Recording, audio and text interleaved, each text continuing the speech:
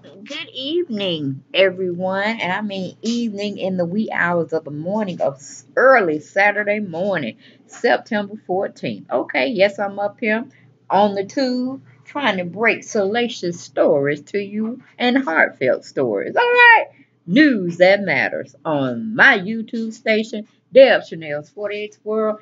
Let's get into it. Okay, but before we do that, have you subscribe, subscribe, subscribe to me? Have you have you subscribe, subscribe, subscribe to me, like and share my videos, like and share my videos. But don't forget to subscribe, subscribe, subscribe, like, share my videos, subscribe, subscribe, subscribe, like, share my videos. Okay, but let's get on into it, honey. We got a love letter.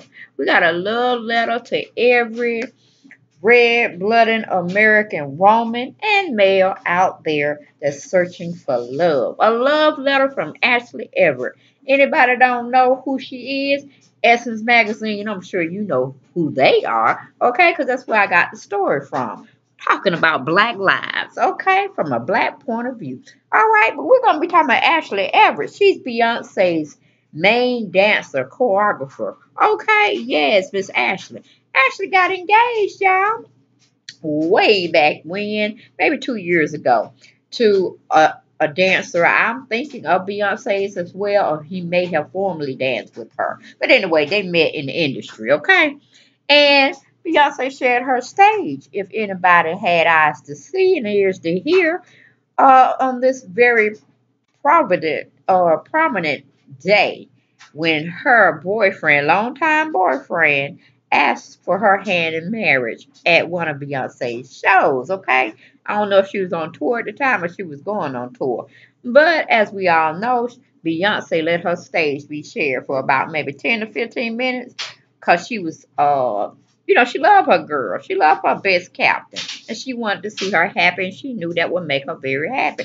Plus, you know, Beyonce is one of those uh, sentimental uh, romance type of people. So it's okay. But Ashley, yes, we're going to get on Ashley's love letter she wrote to herself, to us, and to her past boyfriend slash fiance, honey. This lady chose Beyonce over her fiance. Now, ain't that some mess? Okay. But it just depends on how you look at it. Because I went on and read this article because I was intrigued, okay, and I couldn't wait to break it to you all on tube. I said, God damn, you know, I'm a lovable person. I love love. I love romance. Now, what happened? So, I, excuse me, I took the liberty to go on and read the uh, article for what it was worth, and it was worth it, honey. Ashley and Beyonce, they good people, but especially Ashley because she was like, uh, uh I gotta choose to love myself, my career. I gotta be able me. Okay, I gotta fall back in love with me because I forgot while I was living for other people, being selfless to other people. I forgot about being selfish for myself. I understood it, y'all. I understood. I almost caught a tear. Okay, I almost caught a tear because I'm like, okay, this woman has definitely found the true essence of who she is. You got to love and take care of yourself first, both physically, emotionally, and spiritually, before you can take on somebody else's drainage, okay? Baggage, or however you want to see them. Okay, you got to see yourself before you can see them. But in my life, you got to see the Lord yourself and then somebody else. All right, but let's get on into this story because, like I said, it was a love story a love story of how this young lady chose herself and to be in still employment with Beyonce over her fiance. Oh, I like that ring to it. But let's get into it. Okay, let's get into it. Like I said, got the story from Ed, Evan, excuse me, Essence Magazine. Okay, they got a title. They didn't give me who wrote it, but it, I guess it really does. Well, yes, they did. It was written by Jasmine Grant. This was written on my brother's birthday. He's 54 years old. Woo woo! It was brought out on September 12th um, of this year. And like I said, it was written by a journalist, a correspondent person uh, by the name of Jasmine Grant. So let's give it all up for her. Woo, woo, woo, woo. Yes, yes, yes, yes. Okay. Congrats, congrats, congrats for bringing out a salacious, heartfelt story. Yes. And um, the title read How Dancer Ashley Everett Ended Her Engagement and Found Herself. Okay. Beyonce's dance captain, Ashley Everett, opens up about making the tough decisions decision to end a relationship after her onstage proposal went viral and the strength she found within because of it. Okay? Ashley Everett is known to many as the BeyHive, especially as Beyonce's fierce and talented dance captain. She stood side by side with Queen during her most iconic performances and has lent her sultry moves to other pop music heavy hitters or heavyweights like Usher, Chris Brown, and Ciara. Her path to success seemed inevitable simply because she saw no other way. For me, it was never an option for a dance not to be a career. I didn't see anything else in my future, she says. Even with a laundry list of career receipts, Everett evokes a humility that was enduring during her first conversation, like her longtime boss, the highly accomplished dancer, values her privacy. It's one of the reasons she's been so quiet about the status of her relationship with fellow dancer John Silver, who got the one in a million chance to propose to her on stage at the St. Louis leg of the Formation tour. Okay, so she was on tour. It's not every day that Beyonce lends her stage. Now you know that's right. Queen Bee said, uh-uh, uh-uh, uh-uh. No, no, not no, not this platform. But Beyonce has love for her dancers, or at least some of them. Okay. And uh, for this reason, the grand proposal went viral, and Everett and Silver's relationship garnered national-wide attention. With wedding plans in the works and a stunning engagement shoot to match, all signs pointed to a happily wedded bliss on the horizon. After the wedding date came and went, photos of Everett and Silver soon fizzled out. And Inquisitive followers looked for clues about whether they had broken up. Now, my sidebar, the paparazzi were like, okay, girl, now this man proposed to you in a very prominent way. What where y'all at in this stage? Where y'all going? We need to know the how, when, where, why, and how these events are going to turn out or not turn out. Give us the tea, give us the tea, honey. You know we're gonna throw Beyonce name in there so it'll just get more traction out there on the social media streets. Okay, girl, where is your wedding? Where is your wedding? Now that's my sidebar. Okay, that's what people wanted to know. Okay, so it goes back to the article. For Everett, it never felt like the right time to publicly address what went down. But one year after what would have been their wedding date, she feels stronger, wiser, and prepared to share the beauty that emerged after closing a painful chapter. And she's going to take us back to the beginning and where we go. Uh, we met while dancing for Ne-Yo. Okay, you know the R&B crooner Ne-Yo. Sure, everybody should know him. We just hit it off right away. We had a lot of mutual friends that knew us both separately. They said, You have to meet each other. You're the girl version of him, and he's the boy version of you. So when we met, it was like, Okay, let's see what we're all about. We did hit it off, and we were friends at first. That's where the foundation came from. When we got together, I was 21 and had just moved to LA from New York. I had been working working, but I was still fresh in my career, dancing dancing every day, all day. We were together for six years before he proposed. Now, you would think, that's my sidebar, you were ready for this man, but it has tell tell signs that you weren't ready, and at least you acknowledge that you weren't ready. Okay, now we're gonna go to the proposal. Uh, she writes, I was definitely surprised and taken out of my performance element. When I'm on stage, I'm a different character than I am in my everyday life. I felt vulnerable and all the attention and cameras were on me, I was like a turtle wanting to crawl in my shell. Yeah, she wanted to crawl back in. She like she don't like that kind of exposure. Not when it's uh, garnering on her personal life. You know, when she eat, sleep, and shit. No, she didn't want that kind of attention, y'all. She didn't want it. Okay, but we're going back to the article. I'm low key, so I was shocked completely. And that's uh, also something that her fiance should have known. Don't give her no proposal like that because she don't like all that hoopla. You give her something simple and you make it turn out, you know, so romantic and it's about you and her. She probably would have been a little bit more uh wanting to save or salvage the relationship. But you you did everything opposite of what she's all about, fella.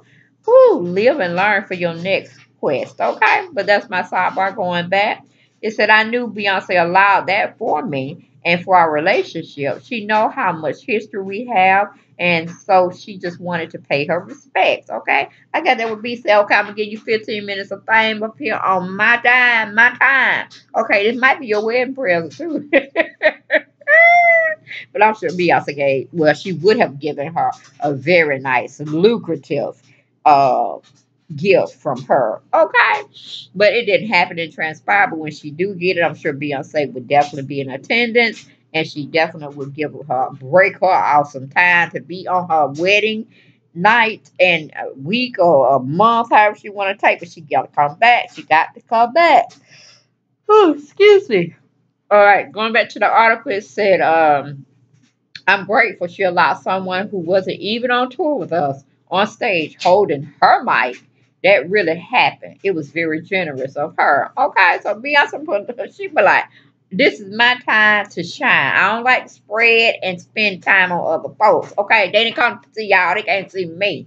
I'm the star. All right, that's what Beyonce must have told her people, and they really took it to heart. All right, but anyway, moving to the next phase, it says a tough decision to walk away. In 2016, the year I got engaged, I was very interested. It, it, was it was a very interesting year for me. I was a victim of identity theft while rehearsing and getting ready to tour with Beyonce. I was getting calls every day, all day, saying I got approved for car loans and money's being taken out of here and there. I was locked out of everything and could barely send emails. All right. I still have stuff to get off my credit report because of that. So that was really tough for me because it was such an invasion of privacy. That was the start of the year. And it kept rolling on, which made the entire year really hard for me. Then in the fall, I got proposed to. So it was the worst year of my life mixed with one of the happiest moments of my life.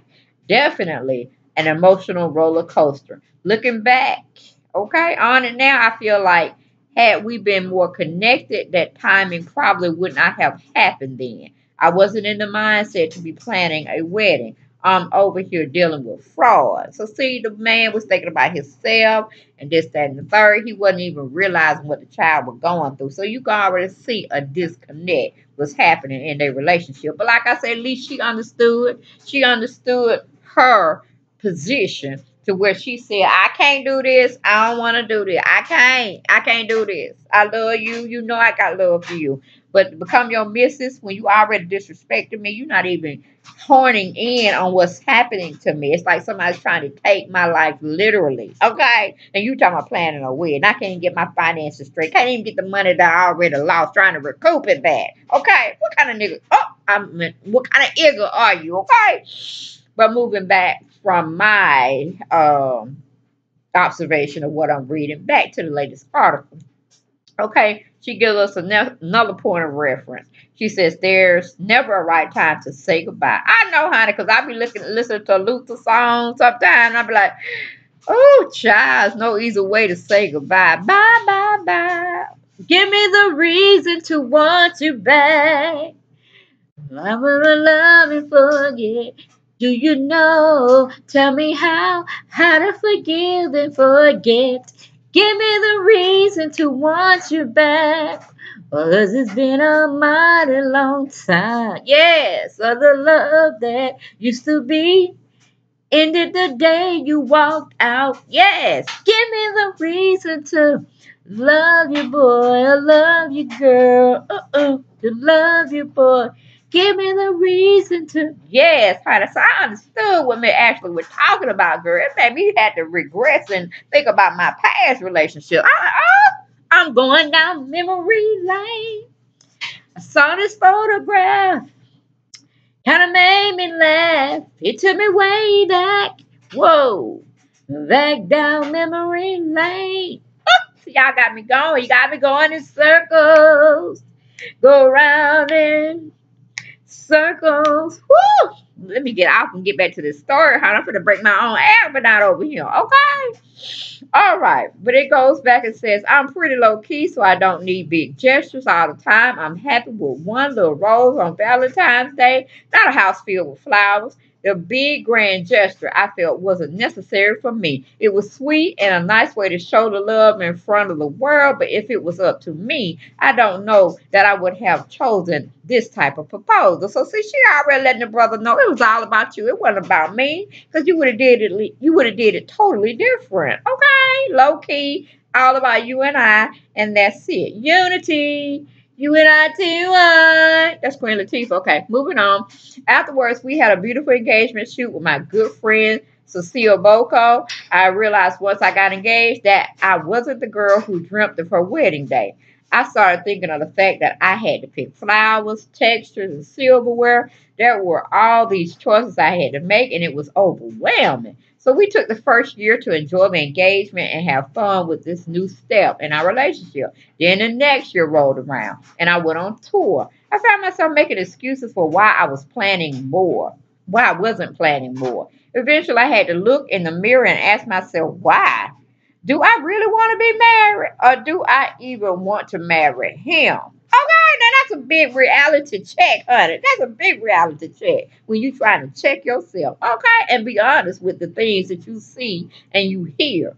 It ain't looking good for Mister. It ain't looking good. She don't put him in her rearview mirror at this point when she started to ask herself the who, what, why, and when. Okay, and how this going to affect me in the end. That's what that lady was saying. That was actually trying to give points of reference to herself. And sometimes, like I said, you got to talk to yourself sometimes. It's between you and the Lord. Because only you and the Lord know your struggles, your battles, your wants, your needs, your desires. Yes. Okay, but moving on.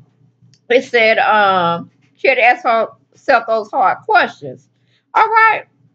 Am I really happy? Do I need to work on myself before I take this leap? I was just trying to understand a little bit more. Then, of course, with work and travel comes distance, which means you have to work harder for communication. At this point, John and I were eight years in. We were comfortable and used to each other. We could go a day or two without talking. To see, that's why I know the relationship ended. I ain't gonna go not one day, not even a couple of hours without checking in on my mate. Okay? That's just how I get down. That's how you know it's love, honey. She talking she can go a day or two without talking to him. Nah, y'all weren't ready. You weren't ready for this man. You were probably ready, but not with this man. You see what I'm saying? Moving on back to the article. It said we could, okay, and I just felt like we weren't on the same page anymore. We had different goals and dreams work wise, and our friendship was kind of fading away. We ultimately decided to take some space. The space turned into a break, and the break turned into a breakup. You either grow together or you grow apart. I don't look back and feel that I wasted my time. We had a great run while it lasted, and I learned a lot. I needed to be a little selfish. It was time for Ashley to date Ashley. Sometimes it's easier to deal with things when you're away and busy. This was doing on the On the Run tour. I had uh, to show every night. I had a show every night and I was rehearsing during the days. When we decided to take the break, I was still on the road. It was cool because we were already we were already separated. So I thought, What's the big difference? It really hit home when I got off the road in October. I was living in my LA, I was living my LA life. Now without him, and he had been a part of that life for the past eight years. It was a transition. But what I realized is that I went through all the heartache and hurt during the last couple of years when I felt the relationship was going downhill, but was trying to stick it out. But then once we called it quits, it was almost like a relief. I was floating at the top of the pool. I focused hard on myself, my energy, and the energies I was allowing into my life. I started eating healthier and working out more, focusing on my clothing and swim line. I've been I've done so many great things being out of that relationship, things that are actually for me. I can be a very selfless person in a relationship. Everything is about us, we and our. I need to be a little selfish. Okay? It was time for Ashley to date Ashley. All right? With us having such a public engagement, people started catching on. I started seeing social media comments like, Are you guys still together? And where's the ring? I started to think, Am I letting people down? Beyonce gave me such a huge platform for our engagement, but things happen and life happens. I had a great family, or I have a great family and parents. I also have the people I tour with and people who've been in the Beyonce camp and have watched me grow up throughout the years. We watched each other grow, go through relationships and different things. They were my tribe on tour. I also have my LA friends who aren't in the industry. Overall, I have a tight circle. That's all good people. They're all good people and have always been there for me. Okay, the glow up. That's the second phase. Well, well, you know, we don't hit many phases, okay? I'm not done performing. I want to add more and get behind the scenes. I like development and sharing with the up and coming generation what I've learned, whether it leads to a TV show or film down the line. I can see myself doing that and creating well doing that in a creative world once I'm done performing or done being a performer.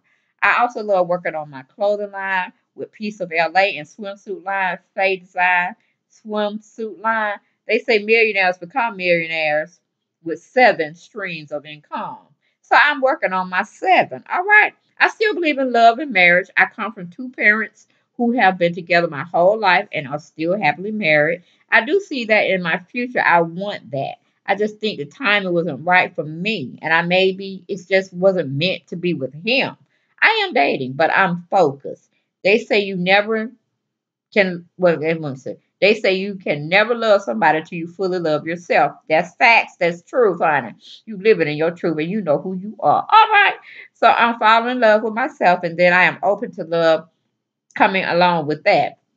You don't have to have a six pack and be six three. I want somebody to make me laugh. We have to connect on a spiritual level. We have to trust and communicate. I'm excited to see where my future takes me. What's important about my story is showing that we're all human. Just because you're on stage with a superstar or have X amount of followers doesn't mean we don't go through things. Now she's speaking facts again. Okay.